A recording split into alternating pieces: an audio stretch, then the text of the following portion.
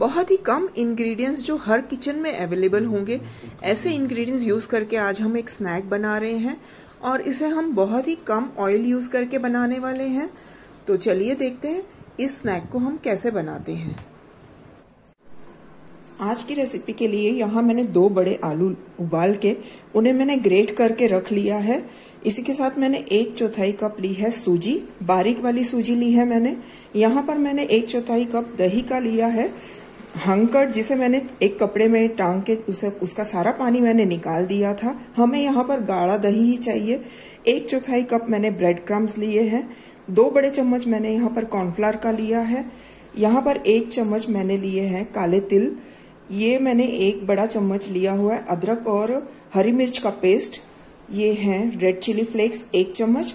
नमक यहाँ मैंने एक चम्मच लिया है। आप अपने टेस्ट के हिसाब से नमक का यूज़ कर सकते हो।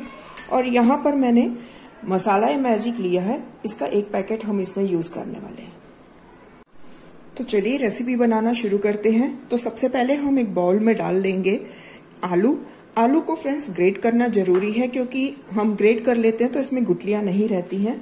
तो इसी में हम डाल देंगे सूजी। सूजी के साथ हम इसमें डाल देंगे हंकर्ड।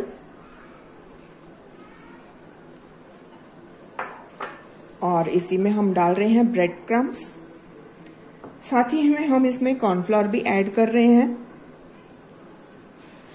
अब इसमें मैं डाल देती हूँ हरी मिर्च और अदरक का पेस्ट साथ ही में हम ये चिली फ्लेक्स भी डाल देते हैं और नमक हम अपने स्वाद के अनुसार इसमें डालेंगे. मैं यहाँ पर यूज़ कर रही हूँ मसाला ए मैजिक ये मैं इसमें डालूँगी. आपके पास अगर ये नहीं है तो आप और भी दूसरा कोई मसाला यूज़ कर सकते हो इसमें.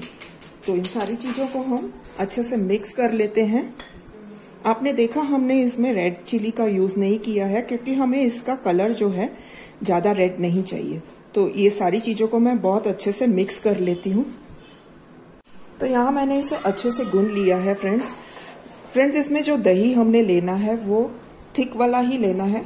और अगर आपका जो ये डो है ज़्यादा लूज पड़ जाए तो आप इसमें थोड़ा सा ब्रेड क्रम्स या फिर थोड़ी सी सूजी ऐड कर सकते हो।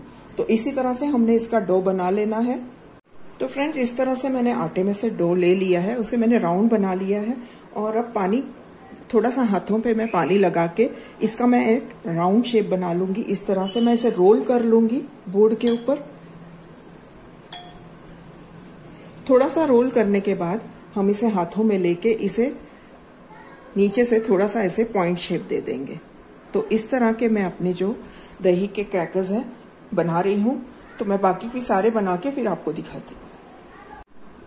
तो यहाँ फ्रेंड्स मैंने कुछ जो दही के क्रैकर्स हैं, उन्हें शेप दे दिया है। तो हम इन्हें अभी फ्राई करेंगे। तो फ्राई करने से पहले हमने जो ये काले तिल लिए हैं, ये हम इनके ऊपर थोड़ा थोड़ा लगा लेते हैं।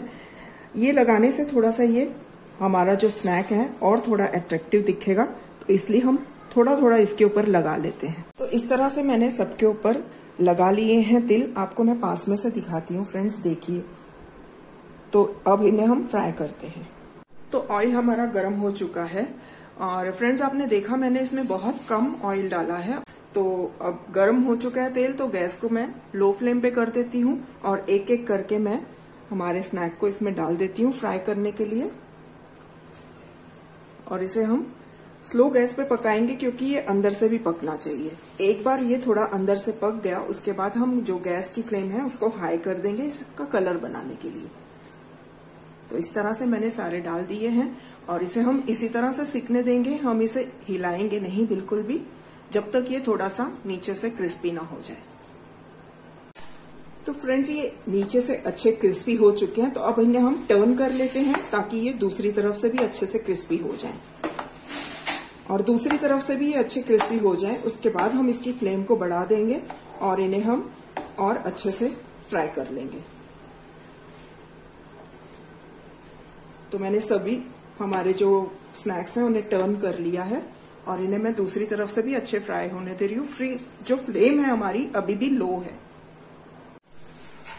तो फ्रेंड्स, ये दूसरी तरफ़ से भी सीख चुके हैं तो अब इन्हें हम फ्लेम को थोड़ी सी हम हाई कर देते हैं ताकि ये पूरी तरह से अच्छे से हर तरफ़ से हो जाए और फिर इन्हें हम प्लेट में निकाल देंगे। तो यहाँ हमारे दही के क्रैकर्स बिल्कुल अच्छे से फ्राई हो चुके हैं तो इन्हें हम निकाल लेते हैं प्लेट में और बाकी के भी सारे जो हैं, मैं इसी तरह से फ्राई कर लेती हूँ। तो मैंने ये सारे प्लेट में निकाल लिए हैं। तो फ्रेंड्स यहाँ हमारे दही के क्रैकर्स जो हैं बिल्कुल रेडी हैं। आप देख सकते हो मैंने इसकी प्लेटिंग कर दी है और मैंने इन्हें एक कैरेट का लुक दिया है। तो आप देख सकते हो यहाँ पर मैंने ये शिमला मिर्च को कट करके लगाया है, जिसकी वजह से ये बिल्कुल कैरेट का लुक दे रहा है। और इसमें बहुत ही कम ऑयल का यूज़ हुआ है इन्हें फ्राई करने के लिए। तो आपको मेरी ये रेसिपी कैसे लगी, मुझे कमेंट करके ज़रूर बताना। और अगर आप मेरे चैनल पे नए हो तो मेरे चैनल को सब्सक्राइब कीजिए। ऐसी ही और नई रेसिपीज़ के लिए।